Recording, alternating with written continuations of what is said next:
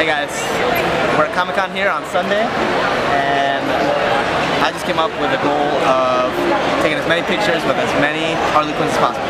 Let's do it.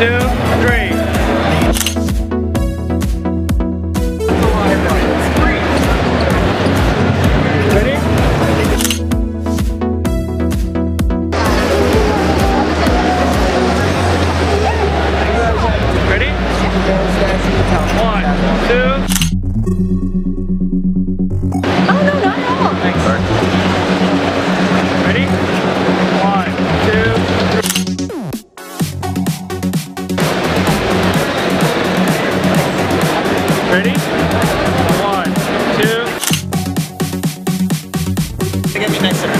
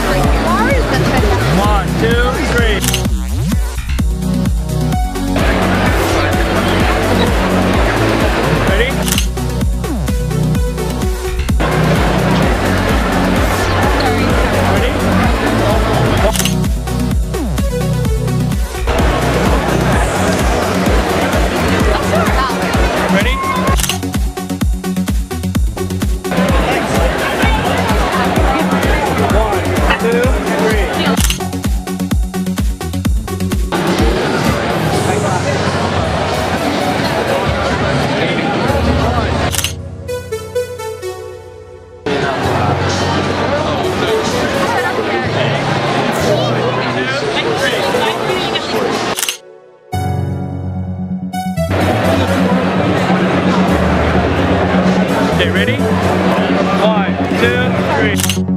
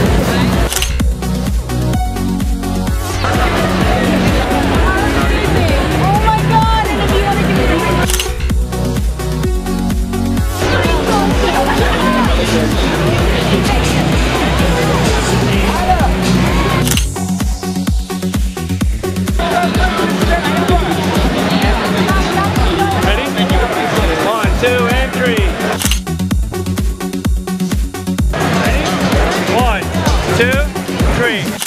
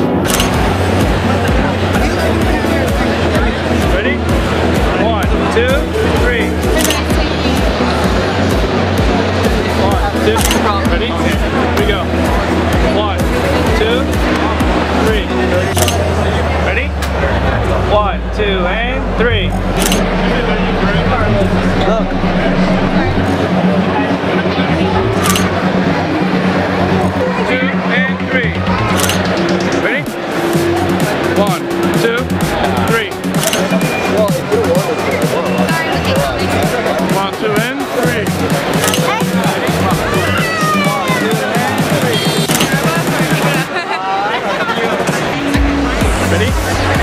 One, two, and three.